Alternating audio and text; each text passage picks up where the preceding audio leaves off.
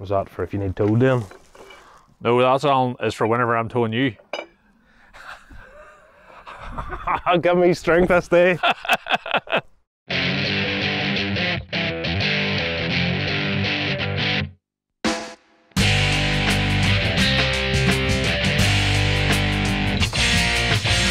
Right, so we're at Rite Engineering, correct? That's right, yeah. This is Greg, the boss man. That's me.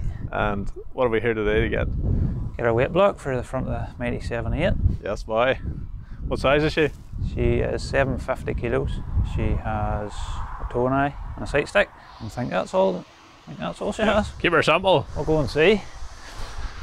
I know you can get a lot of bells and whistles. What options do you offer on top of that? Like LED lights, strobes, marker lights, uh, toolbox.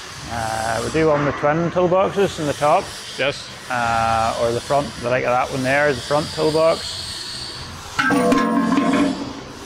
And then that left out, so you can take your tools round the back or wherever you're working, and then you put them back in. What's the dimensions of that box? I think they're a foot wide. I'll just tell you. 11 inches by but 9 inches, Yes. and then the depth of the box usually. Yes. That one there not very deep because of the cutout in the back for the tombstone for those that don't have front linkage, so you can just put it directly on the weight carrier in the front of the tractor. Yes. So you just drive in, set that down on your weight carrier, and drop that in the pen. What's that designed for a new Holland? That one's for a, uh, a fan block on a New Holland. Uh, that one's for John Deere, obviously. So you building everything to order? More or less. We do a few, would have a few for stock, but I can't keep them long enough to be stock. As soon as they're made, they're, they're out the door. So How many do you think you've made now in total? I can tell you, six, about 600 roughly. Of 194 this year. We're on 206 last year, all year, so we're ahead of schedule this year. How long are you going? I've been going myself for 10 years, uh, 10 years this year. But I haven't been making weight blocks all that time. Only been probably, I think it was 2015 was the first one. Well, what were you doing at the start? Anything and everything, farm repairs and cattle gates and just repair, a lot of repair work, mostly farm stuff. And then it kind of progressed into the tidier, cleaner work. Well, dare I ask, what price is a weight block now in terms of weight and Pound a kilo, pound a kilo? pound a kilo for your basic weight and then your extras are Yes. Well, what's the likes of your toe and eye extra? Your toe and eyes 50 quid. Your tool front toolbox is 60. So the tombstone any difference in price then? Yeah, there's an extra hundred pound for a tombstone mount. Yes. So a 500 kilo for, for a tombstone like that would be 600 pound instead of 500. LED lights Uh, 100 pound a set. And the marker. Uh, the marker pole comes with the toe and eye. You can either have the D handle like that one Yes. or the sight stick. Makes no difference. Well, what's the most British block you've ever made? I'd one out there two days ago It was two ton. Yes. What was that going in the front of? It was actually going in the back of a T5, something or other, with a loader, big loader, big bit of a loader. Okay. Okay. She was too late in the back, Yes. But he also has a T7 270, Uh huh. and he was going to use it in the front of her when, when need be, you know. So, The black looks well. uh, I toyed with the idea of a black one in front of this, now, but I wasn't sure. I we did do a black and green before, but it was the other way around. It was a green block with black plates, Aye. black linkage. So how far away are you shipping them? We shipped. The furthest away was New Zealand. We put about eight. There's eight in New Zealand, but I haven't sent any there for probably two years now. I'd have thought the cost of shipping would be like limit you to sort of national coverage. He's a fella that was originally from Ireland. He's out there and he imports trailers and tires and Yes. so I was shipping the blocks to the south to the tire man and he was building them into the container along with the tires and then shipping the whole lot. So I didn't take anything to do shipping of it. I suppose it's someone you could put into a load to fa- So he, it was, out. he was getting the, basically he was shipping the trailers, he was getting his tires shipped for free, and then he was getting the weight blocks in around them and shipping them for free. So it made sense that way. But most most of my, my own shipping or most of them go to the south. A few to England, Scotland, Wales. Well, much as it likes uh, if you were buying a block off New Holland or John Deere or whatever, it, like pound a kilo wouldn't buy that. No, it wouldn't. I don't honestly know that. There was a fella was in here a couple of weeks ago and he had priced a, a 900 kilo John Deere one with the top link. And I think he said it was over £2,000. That So whether that's right or not, I don't know. You, if you were lucky, you might pick up a John Deere 900 kilo for a, a thousand pound, but they're like hen's teeth. yes, uh, there are not a lot of them second hand. Like uh, at the time I was looking for blocks, I was thinking that's what I would go for, and there wasn't a lot of options. No, no. And then a lot of boys don't want the 900 kilo; they want to run something a wee bit lighter. So, What's this lifter then? Is that something new? uh, no, that's the probably third or fourth year of them. So she lifts one side, but she tips the both as well. What's different about yours compared to the options on the market? Some of them I noticed that was they left the, they left the leg. Is yours going like the both sides? She lifts on a linkage, so she lifts up, but she also lifts back a wee bit. So this this bit here, so you go lift your put your first bale on here, lift that up to there, and that gives you your clearance to lift the second bale. But I'd say then she'll tip them both. Or if you only wanted to tip one, if you keep that one up, then the trip mechanism misses it. So you could tip that one without that one Yes. if you had an, an odd number in a row, or even sometimes boys in the winter would tip one one field and then go to on up the field a bit or into a different field to tip them for winter feeding. Yes. The light bracket's a good job. And then we put the lights on, aye, just to try and keep the thing a bit more legal. Can they reach over the bales? I suppose the bale's been round. It's, it's just the shoulders there. round, yeah, there, so you, should be visible over it, yeah.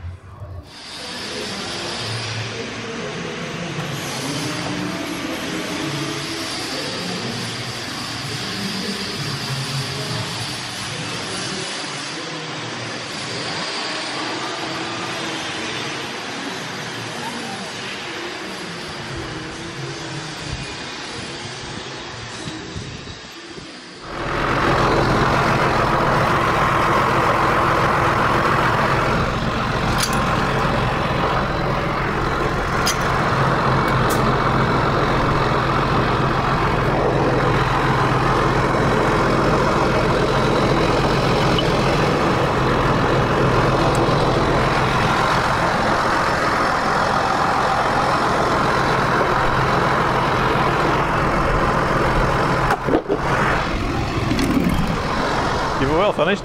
Part of the reason I really like this block is it sits flush. See all the weight sits in behind the arms. So I can get close to gate posts, but not quite touch. Love to see if this helps my TLS any. Oh, it should do, yeah. She is she is riding smooth, but see whenever she's empty and no trailer on, you would notice it more that there's a bit of that old hop. So I'm curious to even see that they're on home here in a good road. Oh, it'll definitely make a difference. Look forward to seeing your sticker when you get it designed and get it on her. That's the thing. Actually, uh, normally you have your is it a little tech in it. Yeah, yeah. That's your like that's the Rite Engineering symbol. So the reason we haven't got the tech is because I want to brand up the front of the tractor. So I'm torn as to which brand I'm actually going to do. I'm not doing FarmFLiX. It's they're going to be AgLife or Straight6 and it's like I like AgLife because it's about the farming. I like Straight6 because it's about the machinery, and I'm sort of torn. Yes. So in the comments, they can tell us what do you think. The public will decide. Yes. Make the call. AgLife or Straight6 on the front of the weight block. I'll have to see if any use for it now. Get something heavy on the back. Yeah, big plough on her. A big wet hole. Maybe it shouldn't be any bother finding one of them. No, not this time of year.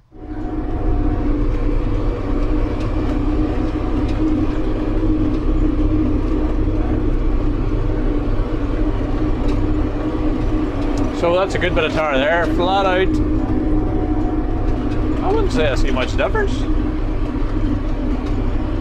My TLS must have been working well. It was working well the other day at, Richard's Cart Silage. Um, a couple of bad bumps just outside the, the gateway of the first field. And when you hit them at speed, like you could just see the big lunge of the, the nose doing a big nosedive and then up again. I'd say my the theory of the block helping or empty is wrong.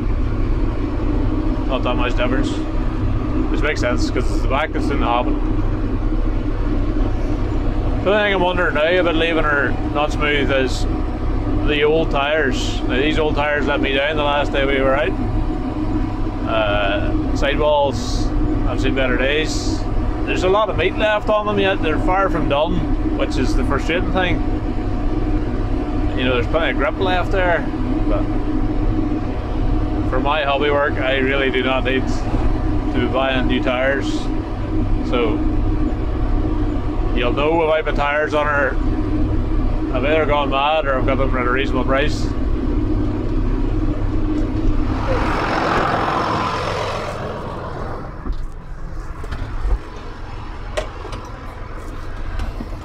Well, Mr. Clyde, I wasn't expecting to uh, spend my evening with you or with your uh, wheelbarrow on. Now we're gonna get her stuff down where you parked the Jeep in an awkward place. Huh? I know I need some turn circle, man. I'm just going to get abuse here the whole way, aren't I? Uh, I think so. Do you, do you want to explain her? Uh, I never should have ever, ever said anything bad about John Deere's. Never, I thought you were going to say never, ever, ever bought a New Holland. I thought that's what you were going to come out with. Sorry. Ah, that's- So sorry. T- tell me, how many, how, many, how many tractors do you own? Remind me again. I have two. Two. Two what? I have two TSAs, New Hollands. New Hollands. Yes, yes. How many of your New Hollands are working right now? That would be zero. John, much to your delight. You see, this is the amazing thing is even if this one stops, I can argue, well, I've only got one, but like it's embarrassing when you've got two. What's all these flashing lights here? I. I, I know exactly what that's about. That's that's me trying to save money in parts. Uh, one of them she just won't drive. I know she'll go drive in ninth and then you can't change gear. I think it's possibly a solenoid. I'm hoping it's a solenoid, Yes. but dear knows. And the four wheel drive's not working her, so both of them things need sorted out. The other one had a little diesel leak, which decided to stop leaking diesel, but then decided to start leaking diesel again. I thought I could chance her up the road, didn't make it. What would that be? 500 yards, couldn't even make it to the roundabout. She just died off. The diesel started to go on fire or something. Fumes was burning. Just up around, couldn't see. Got her nurse back down into the yard, and hence why you are coming to bring signage down from that farm. Yes, yes. I, it's just going to annoy me now because I can't even say anything smart with this. Oh, you can't be slobbering about her whenever she's pulling you out of a hole, like. That'd be just rude. That'd be just rude, all.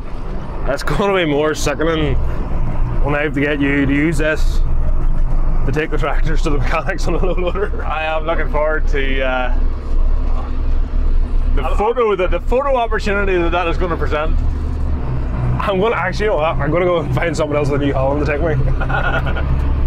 Am I reversing in here or driving in here? Drive straight down and uh, I'll open the gate under the Northwell. Yes, yes. You know, I'm a bit longer now when you wet block, like. I don't you be taking down any walls now. I'll try and keep the paintwork on her for at least a week, you know. She looks well. Driving in there, reversing. I just drive, you I'll open the gate under the Dunkel, just you drive in. Okay. Just set her right into the middle of it. Well, not quite that far. You leave the trailer just there. You still have the sheep hurdles up, hers. That's because the sheepies wanted to escape and the hurdles over there didn't really do a good job. Your tractor's that high, I have to get out the proper road. Four. How many steps to heaven there? so what is what are we doing here, Chief? For this trailer that we have down in the out farm here, what's going on? Well, of a pit of grass, well, a little bit of a pit of grass from a couple of years ago. When did you open this one? I opened that about 10 days ago. There's a queen of cattle in, I was feeding the hay, and all the cattle will be coming in soon. This is all the cart down. But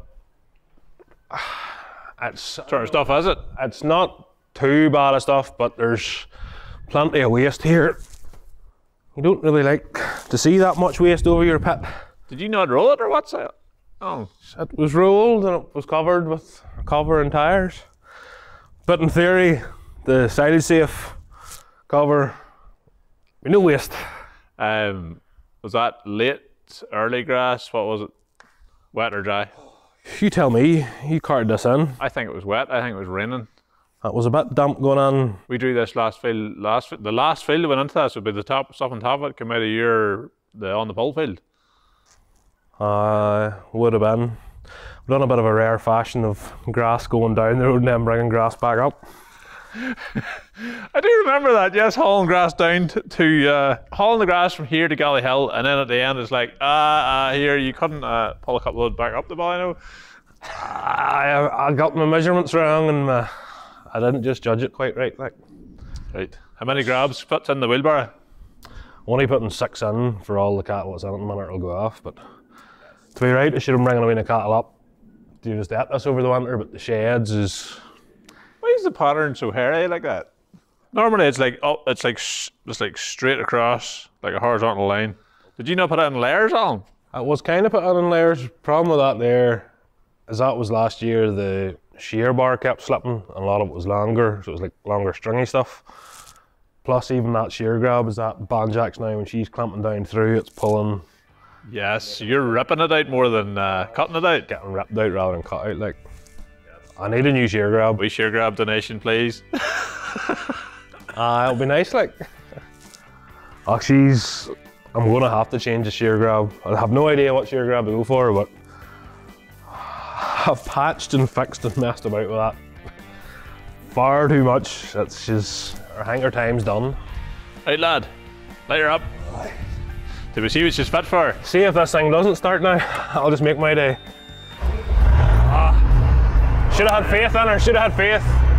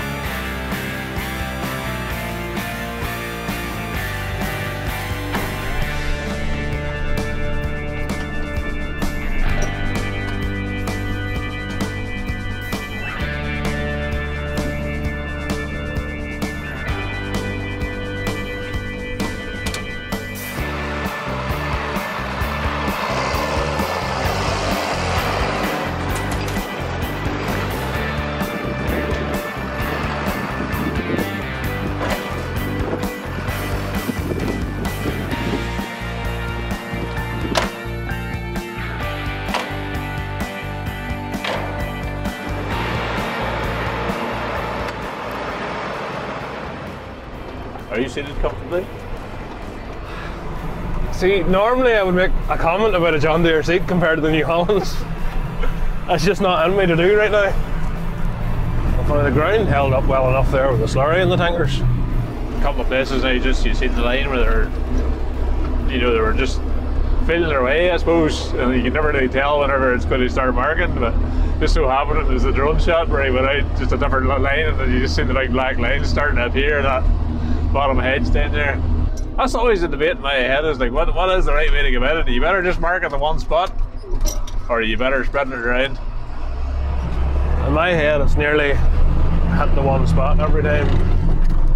And at least that one run, you can nearly run the power, like power apply or something. up The, to the, the- the bound to be farmers out there would be like, look at them two big ruts he put in my field starter. Never get that man again. open the window just so you can listen to her. Ah, let you hear what a real tractor sounds like that time. Then. Right, I'll let you away with after tonight. Then I'll start biting back again. You made away, horse. You made away. Yeah, my John Deere's got nothing but hassle. Do you know we were doing there, Andrew? See, this is called maintenance, Andrew. Alan. This is what you do to a tractor. Is when you see something that's not quite right, even if it's not quite broken, you fix it before it breaks. So when your tractor's leaking diesel, you don't try to go on car silage with it. Something like that, yeah. Guys, I know we've got a lot of new subscribers on the channel this year. This is simply a call to go and see what we actually do for a living. Take the trial, it's completely free, no credit card details required. Jump in there and see the actual episodes that some of these behind the scenes have been shot with. So, guys, fill the bits this Christmas when you're stuck indoors. Like my shirt?